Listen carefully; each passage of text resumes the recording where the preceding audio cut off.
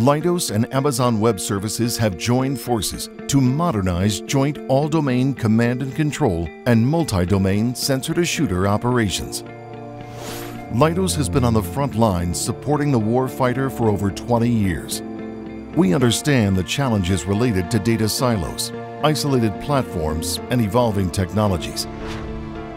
Working together, we're confronting these challenges by creating an integrated edge-to-cloud ecosystem to support warfighter operations and tactical exploitation.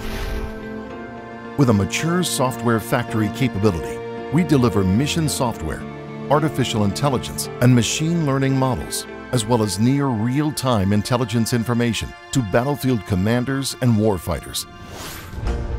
With our holistic edge-to-cloud ecosystem, we are breaking down silos between data, mission software applications, and the people who need processed information to support mission-critical operations at scale.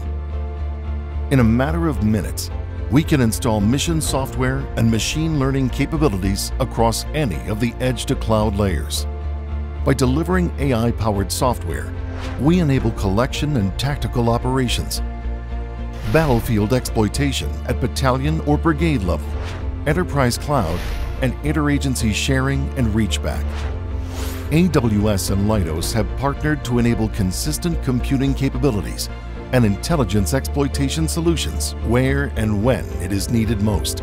From command and control to delivering sensor-to-shooter capabilities, non-intrusive detection to machine learning supporting augmented reality and edge analytics, tactical edge operations to sensor tasking, full motion video, and long-range precision fires.